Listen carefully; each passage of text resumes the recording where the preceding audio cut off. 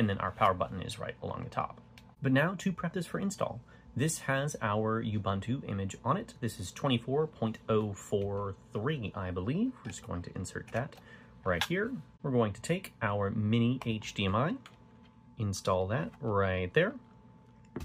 This is a converter, so I can use standard HDMI. I'm going to set our power dock right here. We're going to be using this Ryobi style 18 volt battery. This is a 8 amp hour, and we're going to be using this dock right here as our inverter.